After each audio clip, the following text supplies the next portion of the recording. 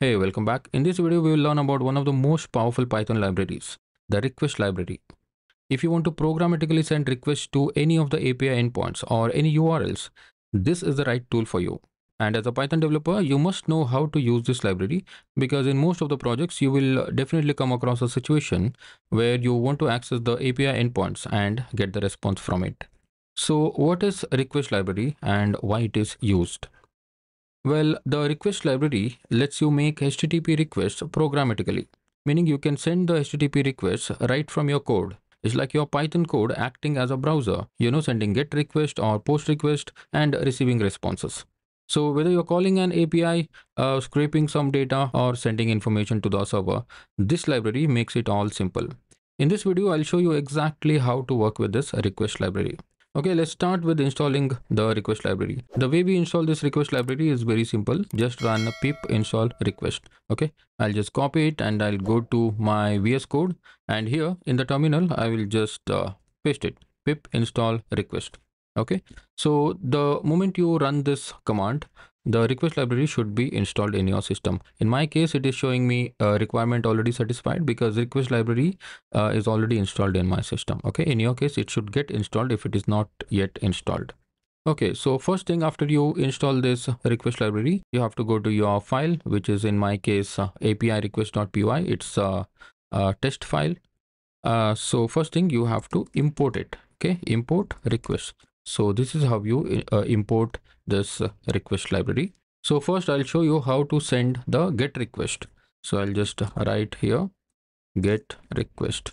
To send a request to any url endpoint or api endpoint we need that api endpoint right? So right now we don't have any api endpoint. That's why i'm going to use this json placeholder. So this json placeholder is a website which provides the fake uh, apis and responses okay. So you can go to jsonplaceholder.typicode.com uh, or you can simply go to google and search for uh, json placeholder you will be landed into this website. You can simply scroll down and uh, try the sample code here.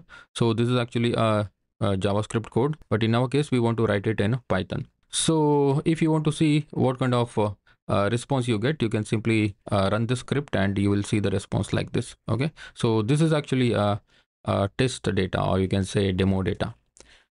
All right. So this is the endpoint uh, we need to hit. Okay. So it is uh, it also gives us uh, something called blocks. You can go to guides and uh, not blocks it is post. Okay. So let's try to uh, hit this endpoint programmatically using request library. So let's go back to this code and let's try to send a get request. So i'll say requests dot get okay request not get. And this is where your uh, endpoint will go. Okay so let me copy this endpoint. Um yeah here is uh, the endpoint. So this endpoint will list down all the resources. So in this case the resources means the blog post. Okay so let me copy this. I'll copy and go back to this code paste this link here. So whatever response this api endpoint will give we will store that inside a response you know response variable. The response is equal to request.get and this is where your uh, api endpoint will go. Okay so now let's try to see what is inside the response. Okay i'll uh, you know i'll just uh, print this response dot status code.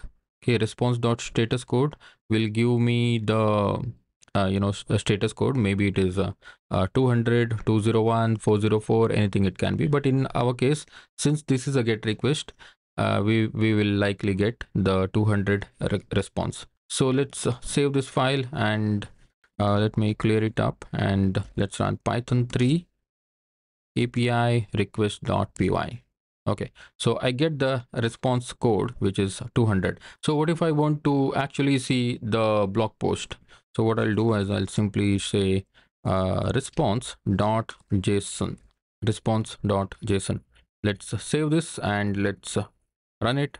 And you see so many data has been pulled from this uh, uh, API endpoint right? So if you want to see this properly uh, I'll just uh, show you one website. You can go to JSON Viewer. Okay JSON Viewer and here this is the website jsonviewer.stack.hu of course there are other tools also but i like this one. Just copy everything from your response and you uh, paste it here inside this text tab.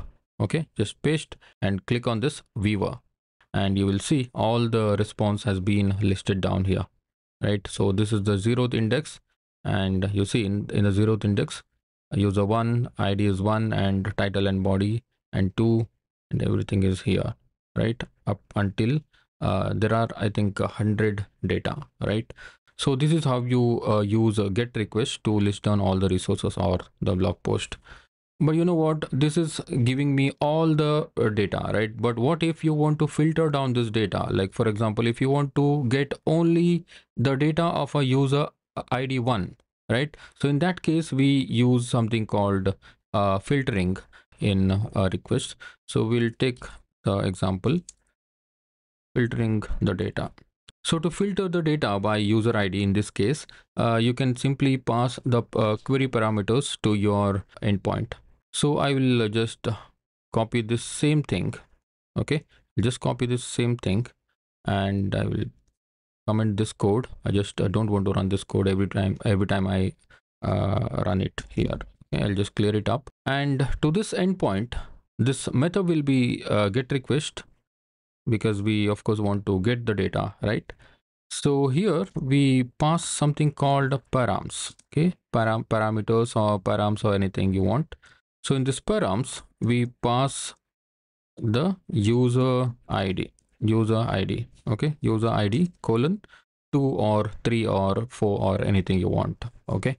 So how do I know this is the params user ID I should use? If you go back here, the, the response you see here is user ID, right? So this is the user ID, right? Otherwise, if you want to get the data of a person whose ID is uh, 2, right? You can also uh, use ID is equal to 2. So it is just like, you know, if you know SQL, there's a query, select star from a table name where uh, id is equal to 1 right? So that's what we are doing here that where clause is going uh, as a query parameter user id is equal to 2 so once we have the params we can simply pass this params here inside this get method okay? So you'll you'll simply say params. Simply pass params here and this request will automatically work okay? So i'll say print response okay so if you just print response it will print the object. Okay so if you want i can show you that. You see this response the with the status code. If you write uh, status code and you'll get just uh, status code. But i want the data right? So what i'll do i'll just simply say uh, response.json and now if i run this and you see I got all the blog posts that belongs to the user ID too. Okay, so if I want to see this properly, I can copy this and I go back and go to text. You can either refresh it or just uh, control all uh, delete and go back to Viewer and you can see there are 10 data.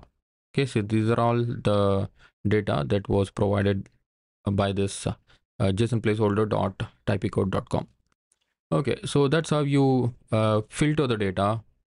And what if you want to you know send the data to the server right? For example if you want to save the data in the database so that we will have to do using the post method. Okay so let's see how to use this post method. Let me again clear it up. I'll write post.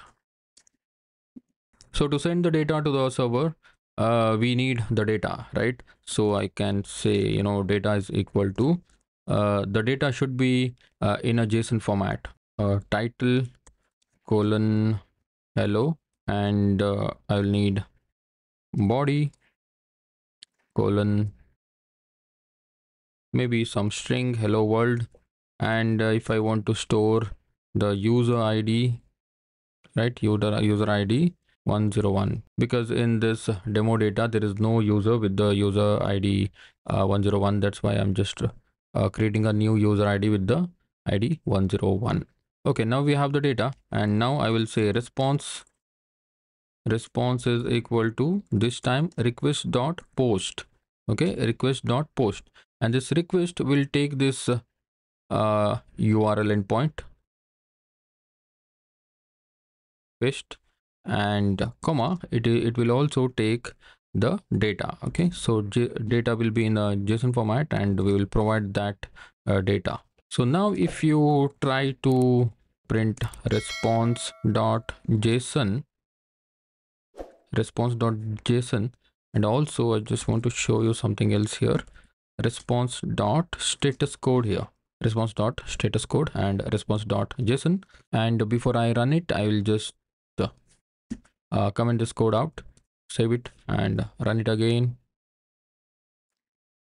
Okay now you can see a response dot status code and this has returned 201 so this 201 means created response. So this means the new post has been created. Okay so the data will be uh, this this is the data that we got from the server. Okay but uh, you know what? This is a fake data right? So this has not uh, stored in the database uh, of json placeholder. It just shows you that the data has been created. Okay but in the real life if you uh, send this request to any other endpoint then the data will get stored in the database and one more thing in real life endpoints you cannot just hit the endpoint just using this request.post uh, like that because most likely your server is secured with something called authorization. Okay you will have to uh, send the authorization header with your endpoint okay that's when you will be able to show the data in the database or access the data uh, from the server. So i'll show you how to use this uh, authorization header or in fact how to send the headers using this request library with the endpoint. So let's say we uh, we have some headers like this. Headers is equal to in json we will say authorization authorization. So there are multiple authorization methods but uh, mostly we use something called bearer tokens okay? So if the authorization method is bearer token then you will have to pass the bearer token. So the bearer token will look something like this. It will be a series of numbers letters and special characters. You can simply obtain the bearer token from the destination website by following their documentation and then you can use it. But remember one thing whenever you want to use uh, bearer tokens you always have to uh, write bearer in front of your token. And also you will have to uh, pass the content type. Content type. So content type will be application json. So this will be our header. And now you can simply pass this here. Okay so just paste it and uh, response is equal to request dot uh, get. Let's uh, try to you know fetch something. Request dot get and uh, this will be the endpoint and uh, instead of saying json is equal to data we can simply say headers is equal to uh, headers. Okay headers is equal to this header. Okay so right now this is our dummy token but in real life if you want this api endpoint to get the data for you then you'll have to pass the correct uh, authorization header like the bearer token. So before i wind up this uh, video i just want to show you something called error handling. Because sometimes we get errors when sending the request. So in that case what you have to do is we have to uh, handle the errors gracefully. So the way we handle the errors in python we mostly use try and except block so inside the try block we can try to uh, you know try to send the request like uh, request dot get uh, maybe i will just say https I'll just try to replicate the scenario of the no internet. Okay, so what if uh, you don't have the internet and you're accessing the endpoint, right? So in that case, uh, you should get the error. Response is equal to request dot get this endpoint. Okay, just consider this is the endpoint. I'm just uh, going to ratankcom. Now, what if you cannot go to ratankcom? Maybe because you don't have the internet or this ratankcom is not working.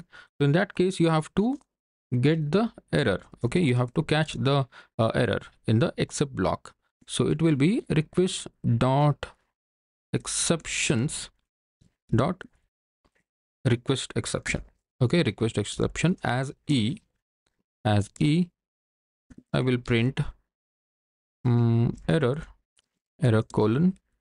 Then you can pass this uh, error like this. Uh, if I print the response like this response like this this will work. Uh, you get the response 200 because ratank.com is working. But now what if uh, this site is not working? Maybe my internet internet connection is down. Let me disconnect the wi-fi and let's now try to uh, access this. Okay now you see error. Okay this error is being printed uh, from whatever i have written here. And this e is printing this actual error. Https uh, connection pool host ratank.com port 443 failed to resolve right? So because it was unable to connect to ratank.com the reason is there is no internet and one more piece of trick i want to show you here. Always use timeout okay? Always use a timeout uh, here.